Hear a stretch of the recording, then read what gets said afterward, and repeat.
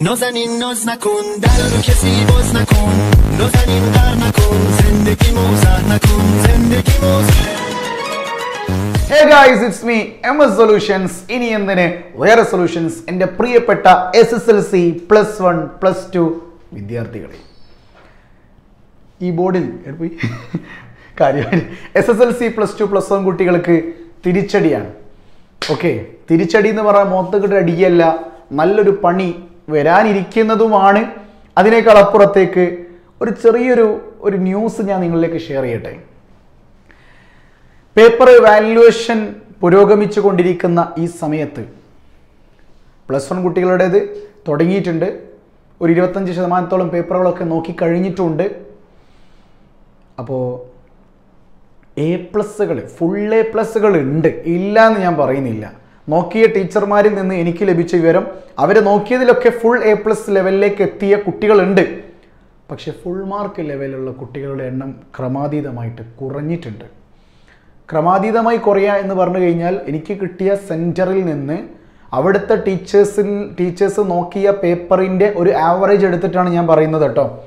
മറ്റ് ജില്ലകളിലെ അവസ്ഥ കൂടി നമുക്ക് അറിയേണ്ടതുണ്ട്. പക്ഷേ ഇതൊക്കെ അറിയപ്പോഴേ റിസൾട്ട് വരുമ്പോഴേ അറിയുള്ളൂ. പക്ഷേ നിലവിൽ കിട്ടിയ റിപ്പോർട്ട് നമ്മളൊരു കാര്യം അവിടെ നിന്ന് കിട്ടുമ്പോൾ അതാണല്ലോ അപ്ഡേറ്റ് ലഭിച്ചത് പ്രകാരം ഫുൾ എ പ്ലസുകൾ ഉണ്ട്. എസ് എൽ സിന്റെ കാര്യം എടുത്തു പറയുകയാണെങ്കിൽ ഫുൾ എ പ്ലസുകൾ ധാരാളം എസ് എൽ സിക്കാരിലുണ്ട് എസ് എൽ സിക്ക് ഫുൾ എ പ്ലസ് ഉള്ള കുട്ടികളുണ്ട്. അതായത് എ പ്ലസിന്റെ എണ്ണം പല വിഷയങ്ങളിലും എ പ്ലസിന്റെ എണ്ണം ക്രമാതീതമായിട്ട് കൂടിക്കിടക്കുന്നുണ്ട്. പക്ഷെ ഫുൾ മാർക്ക് എത്തിയിട്ടില്ല. പ്ലസ് വൺ പ്ലസ് ടു കുട്ടികളുടെ കാര്യത്തിലാണ് ഈ ഒരു ഫുൾ മാർക്ക് എന്ന് പറയുന്ന ഒരു സിസ്റ്റത്തെ വളരെ വാല്യൂ ചെയ്ത് പറയുന്നത്. അല്ലെ? പേഴ്സന്റേജ് വെച്ചിട്ടാണ് പ്ലസ് വൺ പ്ലസ് ടു കഴിഞ്ഞിട്ട് ഡിഗ്രിക്ക് ആയാലും ഈവൻ എൻട്രൻസിനായാലും ഒക്കെ പേഴ്സന്റേജ് വളരെ ഇമ്പോർട്ടന്റ് ആണ്.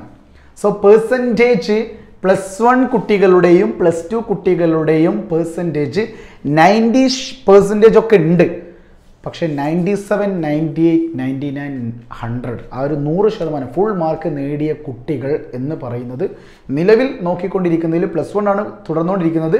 പ്ലസ് ടു കഴിഞ്ഞതാണ്. ഡബിൾ വാലേഷനുള്ള പേപ്പർ കൂടി അയച്ചോടുകൂടി കഴിയും. ഫിസിക്സ് കെമിസ്ട്രി മാത്സ് ബാക്കിയൊക്കെ ഏകദേശം കഴിഞ്ഞിട്ടുണ്ട്. സോ ആ കഴിഞ്ഞ പേപ്പറുകളുടെ അടിസ്ഥാനത്തിൽ ഞാൻ പറഞ്ഞ പോയിന്റ് ഇതാണ്. ഫുൾ മാർക്കുള്ള കുട്ടികൾ വളരെ കുറവാണ്. അപ്പോൾ സ്വാഭാവികമായിട്ടും ഈ ടഫ് ഉണ്ടായിരുന്ന പേപ്പറുകളായാലും ഒക്കെ നോർമൽ വാല്യുവേഷൻ ആണ് ഉണ്ടായിരുന്നത്. ഇപ്പോൾ റിസൾട്ട് വല്ലാതെ പ്രതീക്ഷിക്കരുത് എന്ന് മാത്രം എനിക്ക് ഒരു സമയത്ത് നിങ്ങളോട് പറയാനുള്ളൂ. ഞാനൊരിക്കലും നിങ്ങളെ നിരുത്സാഹപ്പെടുത്താൻ പറയുന്നതല്ല. ഒരു ന്യൂസ് കേട്ടാൽ നിങ്ങളത് മനസ്സിലാക്കണം. ജാഗരൂകരായിട്ട് നിങ്ങൾ നിൽക്കണം. നിങ്ങൾ ആരെയെങ്കിലും പറ്റിക്കുന്നുണ്ടെങ്കിൽ ഇപ്പോൾ രക്ഷിതാക്കളെടുത്ത് നിങ്ങൾക്ക് എക്സാം ടഫാണെങ്കിൽ നിങ്ങൾ പറയും ആ കുഴപ്പമില്ലായിരുന്നു എന്ന് പറയും. അപ്പോൾ രക്ഷിതാവ് വിചാരിക്കും എന്റെ മോക്ക് ഫുൾ മാർക്ക് കിട്ടുമെന്ന് വിചാരിക്കും. അതിപ്പോഴേ പറഞ്ഞ് നിങ്ങൾ പറഞ്ഞ് മനസ്സിലാക്കണം.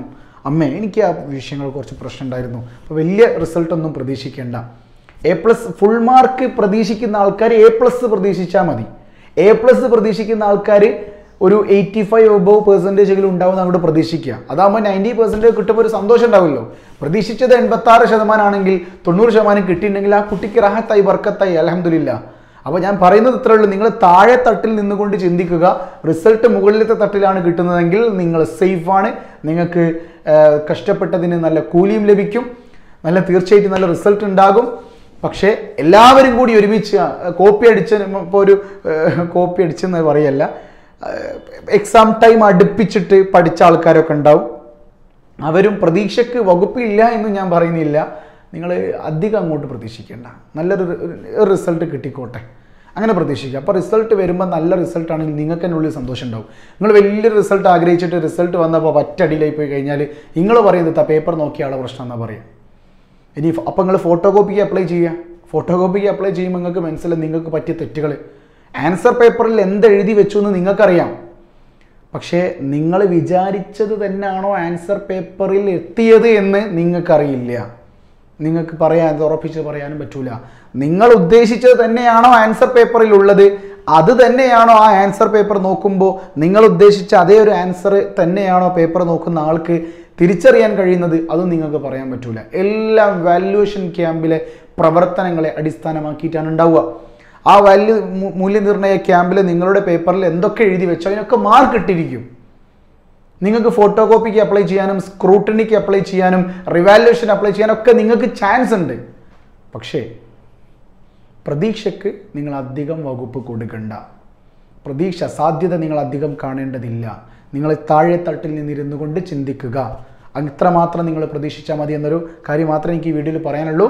സോ ഫുൾ എ പ്ലസ്സുകളുടെ എണ്ണം ഉണ്ടാവുമെങ്കിലും ഫുൾ മാർക്ക് നേടിയ കുട്ടികളുടെ എണ്ണം വിരളമായിരിക്കും. It's me M S solutions ഇനി എന്തിന്? വേറെ സൊല്യൂഷൻസ് ബൈ